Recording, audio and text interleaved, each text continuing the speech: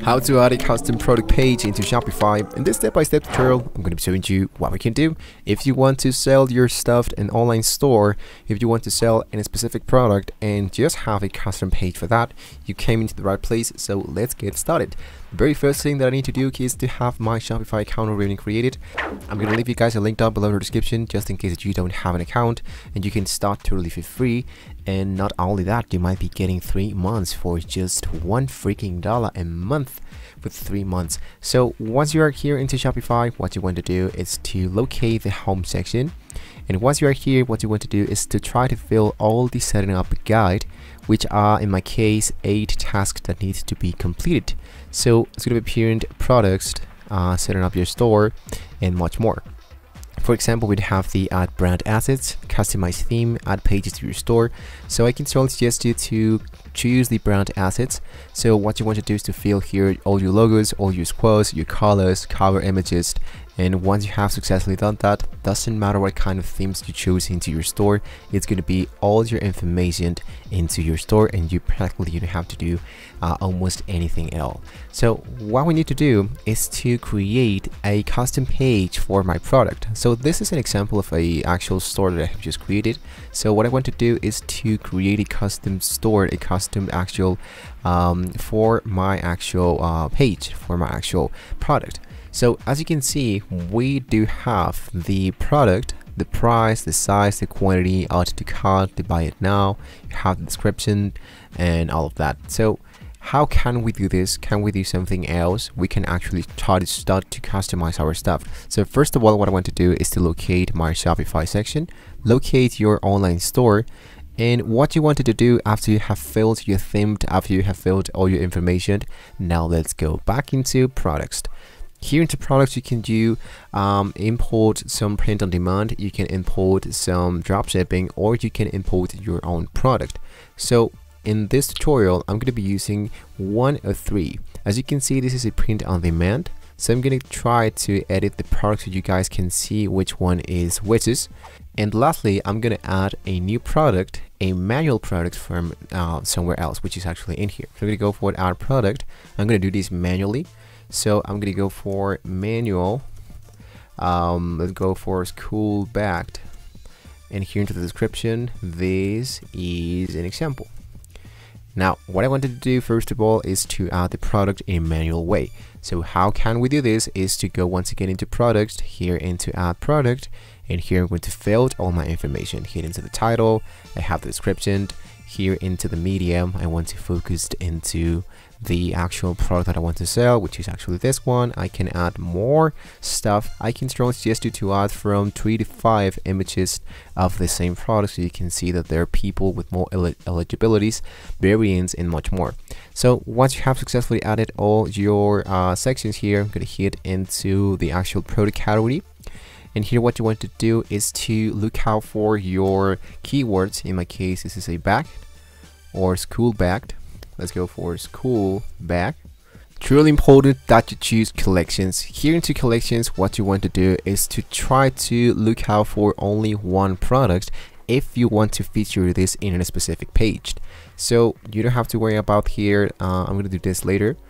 So I'm going to choose the section that says price. I'm going to set it up for, let's say, for example, this is the price, the comparative price to like this. And there we go. So what I wanted to do now is to hit into save. Now that we have one of each, I'm going to go into collections. Here into collections, what I want to do is to focus into just one item that I want to create, of course, a store, a page actually. So what I wanted to do is to hit into create collection. And then what you want to do is to create only a collection of just one product so you can feature that in a specific page. So I'm going to hit down into title and here in the title what I wanted to do is to change or choose the name of the, the product I was going to go for bags feature product there we go. So we have now the online store the point of sale the collection image. You want to choose the only product that you want to sell. Hit into open and here it says collection type. I'm going to look out for manual. And here I can add manual collections. Is to choose the product that you want to add into your collection which in my case it's only the dropshipping silicone grip device. I'm going to hit into add there we go. So after that I'm gonna go into I'm gonna go back of course. And then what you want to do now that we have everything successfully done is to add the custom page. So I'm gonna go back here into my online store. Here into my online store look out for pages. And here into pages what I wanted to do is to create a new page specifically speaking about my product. So I'm gonna go for featured product now that I hit it into saved it's going to be appearing the added to store through navigation. So I'm going to go into navigation. And here into navigation if you want to add your product you can do that into your main menu which is here. And instead of choosing the catalog I just go add menu item. I'm going to go for feature product. And here it says linked look out for pages and look out for feature product. I'm going to hit into add after that, let's go now into our online store and customize those pages in order to now set it up our product. So now that we are in here focused into the feature section, here it says featured, I'm going to click here and here is my actual page. So now what I wanted to do is to hit into the template, hit into add section, feature product, and here into feature products you can add a specific product that you want to. If you don't want to do this you can just choose this option and choose a collection. That's the reason why we choose a collection instead of a product. So there's two ways that we can do this. Either it will be a product or a collection. In my case I want to look out for this dropshipping silicone grip hit into select. And we have the color scheme. If you want to change that you can do this. I'm going to leave it like that.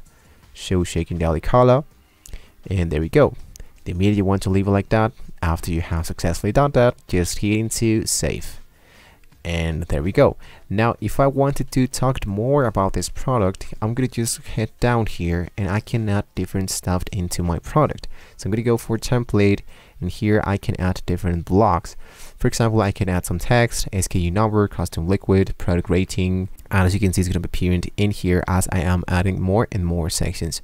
So let's say for example that I want to add a specific image. I can add an image banner which is actually this one and it's going to be exactly the same product. So I can do I can move this in the upper side so people can see this uh, stuff before they see the product to start to buy so I'm going to hit in here, I have the first image, I have this one, I'm going to hit into select. Of course, what you want to do is to add your product. But this is how we can add a custom page for only one product, or you can do much more if you wanted to feature more product, for example, the catalog.